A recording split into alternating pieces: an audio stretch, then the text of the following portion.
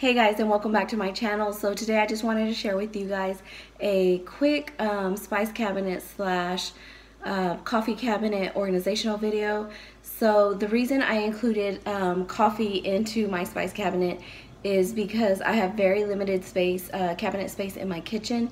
So with the new baby coming, I decided to go ahead and clear out my coffee cabinet and kind of just move that over with the spices since I don't have that much coffee, um, that many coffee things. Uh, me and my husband don't drink coffee. He cannot have caffeine and I just really don't drink coffee. I can maybe count the number of times I drink coffee on one hand, uh, maybe twice a year and if I do um, drink it it's usually a cold coffee from Starbucks. So I don't drink coffee neither does my husband so um, I decided why not move that into the spice cabinet since I did have some extra space. Um, and we just have the few things that we need um, for when our guests come over they can enjoy a cup of coffee. So I put it all together and it worked out rather nicely. So I'm going to share with you guys what I did in this space um, in order for it to function for us and I that way I have the um, since I cleared out the coffee cabinet I do have space for when the baby comes I can put all of her things there um, in that spare cabinet um, as far as bottles or formula or pacifiers, things like things that I might need um, for the baby. So I'm to go ahead and share with you guys what I did in this space. This is the cabinet behind me. Um, this is the spice slash coffee cabinet. So I'm to go ahead and share with you guys what we did in this space in order for it to function for us. So I'm to go ahead and turn the camera around and um, hope you guys enjoy it. Also, I'm to go ahead and insert a clip just really quickly so that you can see what my cabinet looked like before so this is what it looked like before. So as you can see, um, I didn't have a whole lot of spices. It wasn't too disorganized, but I just kind of wanted to touch it up, um, kind of just make it a little bit more neat, and then also um, add the coffee things in there. So I'm going to go ahead and turn the camera around so that you guys can see what I did in this space. So let me go ahead and get the turn around and we'll get started. Okay guys, so this is the spice cabinet slash coffee cabinet where I keep my spices as well as my coffee. So as you've seen from the previous clip, it wasn't too bad. Um, I didn't have my coffee products in there, just my spices. Um, it wasn't too bad. I did have a lot of extra space. Um, but I decided to go ahead and just kind of clean up the cabinet, get rid of things I wasn't using, and just kind of organize it in a way that worked for me um, and a way that made the cabinet look just a whole lot nicer and cleaner. So I'm going to go ahead and start over here with this uh, on the left side. So I'm going to go ahead and open up this door. So what you'll notice as I open up the door is that I chose to keep my spices in the same spot as before. So um, I really like them here. They're really close to the stove. So when I open the cabinet door, they're really easy to get to. Um, so I chose to just leave them here. Um, I did keep them on the same three-tiered shelf. So this shelf is by Made Smart. And I purchased this shelf some years back from Bed Bath & Beyond. Um, I really love the way it holds the spices. So I just went ahead and kept that in here. The only different, um, the difference here is that I put all of my spices into these jars. So one thing that was driving me really crazy was uh, the spice jars were all different um, brands and different they were just different shapes and sizes so it was kind of throwing me off throwing this whole thing off. Um, I like things to look uniform just because it looks a whole lot nicer and neater. So I chose to purchase these jars from Amazon. Um, I believe they were like $14 for 14 jars or something like that. Um, I can't remember exactly but um, I purchased these from Amazon and I loved these in particular because it was it came with 14 um, or 15 exactly what I needed for my space. Um, I don't, me and my husband don't use a lot of spices and the spices that we do use, we use all the time. So it is perfect for our needs. Um, and I loved this set also because it did come with um, the jars, the lids, as well as these clear labels that you see up front. They were pre-printed labels that came with them. So I really love that because I didn't have to make my own. I just used the ones that came um, with the jars. And then they also came with another set of labels that are for the tops of the jars. So they also came with these black labels that you could label the lids with, which I really love. So they're labeled on the bottom um, as well as on the top. So I really love that about them. And I love the clean look of it. I love how they're all the same. So I really love that about it. As you can see, I do have a couple of empty jars back there. I have four empty jars, which I do plan to fill um, these three here. I have some spices already that I know what um, that I'm going to fill those with. So that'll leave me one extra jar. Um, and if I do need some more um, space or I need more spices, I can always uh, move these just a little bit closer and add a jar to each um, shelf. But for right now, I think I will leave it like that. Uh, we have everything that we need. we don't have extra and we don't really try out a lot of spices. Um, every now and then we'll try out a new spice. But I will keep it off to the side until we um, decide whether or not we like it. If we like it, then I will fill the jar back there. If we don't, then I will usually give it away to someone or get rid of it because I don't like keeping things that we're not using in our cabinets because that's what clutters up your cabinets really quick. So yeah, we have everything we need and it works out perfectly for us. Um, over here on the side, I just took a command hook and these are the same ones that I've used in all my previous videos. I really love the hooks, you guys. They work for lots of different things. Um, but I chose to put my silicone funnel. So when I purchased these jars, they did come with, um, they sent me a funnel. So I chose to put that there so that when I need to refill um, these again or I need to add some spices, I have my funnel right right here by the spices inside the cabinet where I can find it and it's easy to get to and I'm not searching around in a drawer somewhere for it. So I really love that. It's out of the way. Another thing that I wanted to mention to you guys is with these jars is I added the dates, um, expiration dates for each spice on the bottom of the um, on the bottom of the container. So I just used a Sharpie marker. So I used a permanent Sharpie marker and I added the date when it expires on the bottom and it will stay on there you guys and it will not fall off. Um, but if you do need to change it you just use a little cotton ball with some alcohol and it comes right off. So it's easy to switch out your expiration dates on the bottom um, as you need to. So I am going to go ahead and move up to the second shelf and I hope that I don't uh, the camera is not so shaky. So and please excuse me you guys if I'm out of breath I sound out of breath. I'm kind of um, further along in my pregnancy. So it makes it a little bit harder to breathe. So just bear with me. Um, just bear with me because it's, it's kind of hard to breathe. So right here in the second shelf, I have these little jars. These are eight ounce jars and you probably remember these from my baking cabinet. I use these for powdered sugar. Um, I purchased these at Target. I really love them for all sorts of things. I chose to get the eight ounce for uh, my peppercorns as well as my pepper because when you buy pepper, um, the pepper cans, they're not that big. So um, usually a whole can will fit in here. Um, so I really love that because I can put the whole can in here and it fits perfectly as well as the peppercorns. So um, yeah, I really love these jars. These are eight ounces.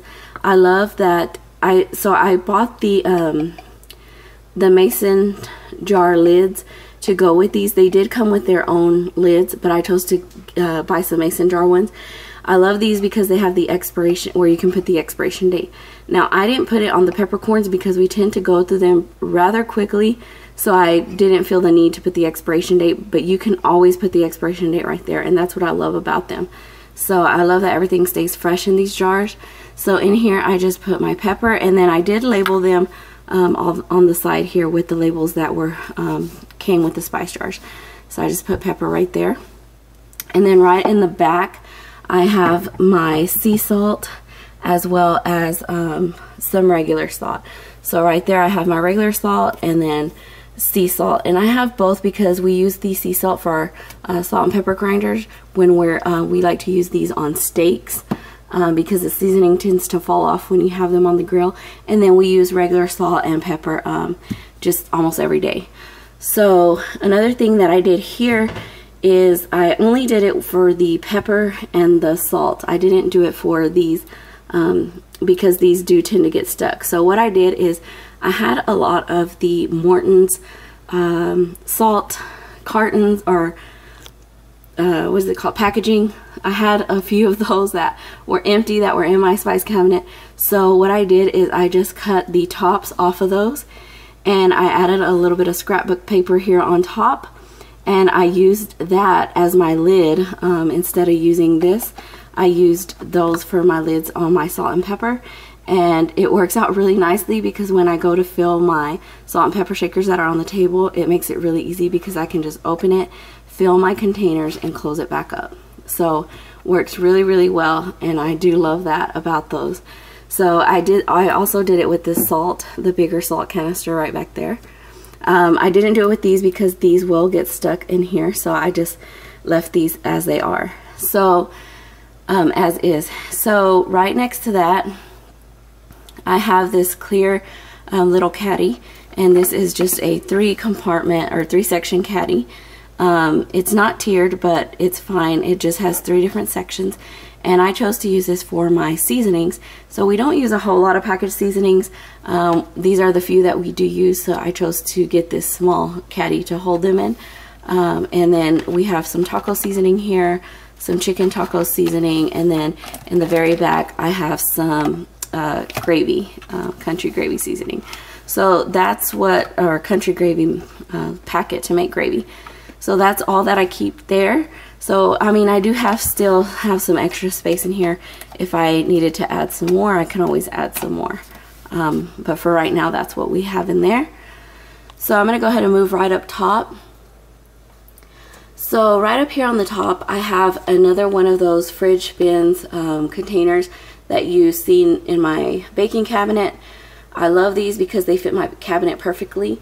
Um, so in here I just keep some backup spices um, extra that I had. So we don't buy large cans of spices. Um, we try to get the smaller ones just because I don't like to have spices for too long because I feel like they lose their um, like they're they're not as good so I like to buy the smaller ones and then once they're done we buy just another one I don't buy a whole lot of seasonings or in bulk um, but these are just some backup spices that didn't fit um, in these small jars so I just kind of put them up here in this thing so I love that I know where they're at I can find them get to them but I don't have to see them in the um, when I open the door I just see kind of this I don't have to see the all the cans.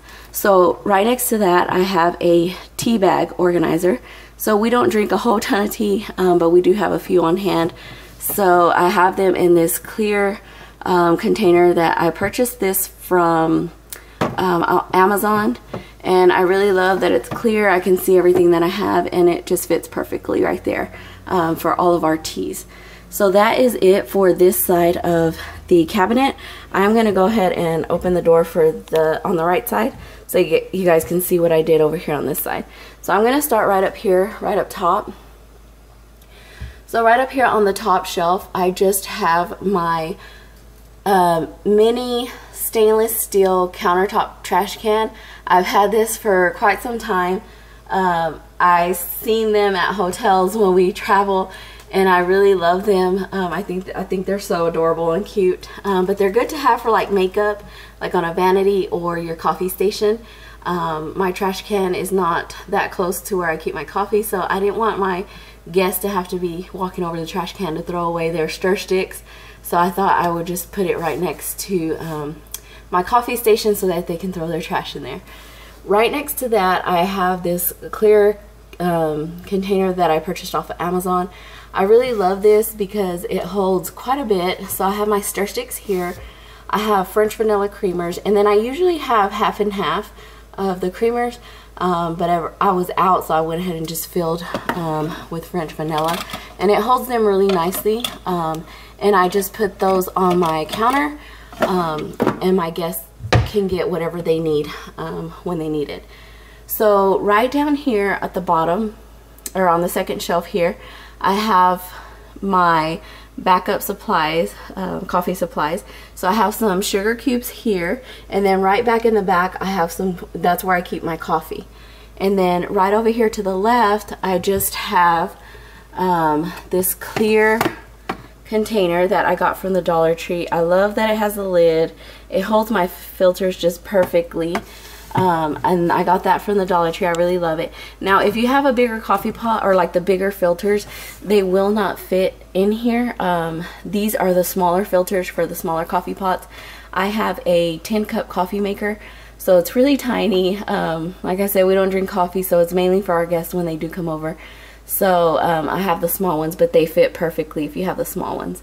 So right here in the middle, I just have this little um, silver tray and I really loved this tray. I purchased this from the Dollar Tree um, and I really love the way it looks. It looks really pretty. And on there I just keep my sugar and coffee jars and when I have company over um, I don't like them. I don't want them to have to be digging in my cabinets looking for all of my coffee stuff. So usually the night before if I have somebody um, stay over, stay the night, um, and I know they're that they're going to drink coffee in the morning, I will set this little tray out as it is. I will set it out and or I will fill uh, fill it about halfway with coffee and sugar cubes and I will just get this whole tray and set it on my counter next to my coffee pot so that if they wake up before me um, they can go ahead and put the coffee um, on and I usually try to wake up before they do but um, my dad is a early bird and he usually be, uh, beats me in the morning and wakes up before I do. So I like to have that set out so that if he wants to put, um, go ahead and make the coffee in the morning, he can. So what I do is I will get a new filter, put it in the coffee pot, fill these up halfway and just set this out um, by the coffee maker so that he's not having to dig around and everything is there that he needs. And then I will usually set this um, right on top of that if it's perfectly right on top and then I'll set my trash can out so that they have everything they need to make their coffee and I'll insert a clip so you guys can see so as you guys seen in the clip um, that is my coffee. That is how I set it up. Um, like I said we don't drink coffee all the time but when we do um, we will pull the stuff out and then that's how we will set it up on our counter.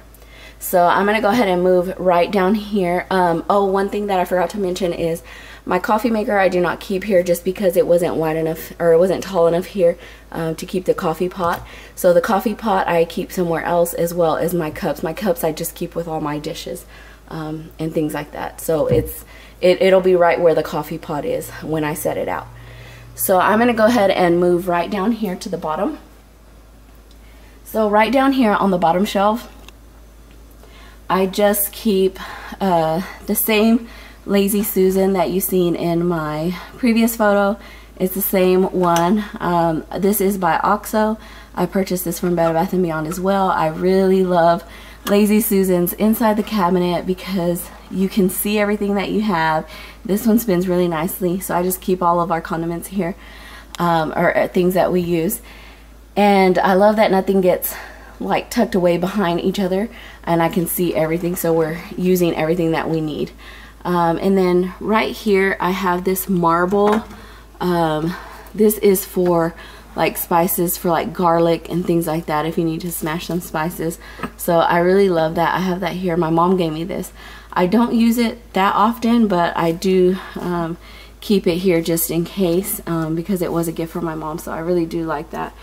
And then right back here, I have another one of those eight ounce little jars from Target and in here I just keep um, so it has the uh, the sifter top. So in there I just keep some baking soda um, just to kind of um, just to kind of mask that smell of the spices. So that way when we open the spice cabinet it's not so overpowering. I mean you will smell a little bit of spice but it's not overpowering um, where that's all you smell. So that is it you guys for my baking or my spice cabinet slash coffee cabinet. I hope you guys enjoyed it.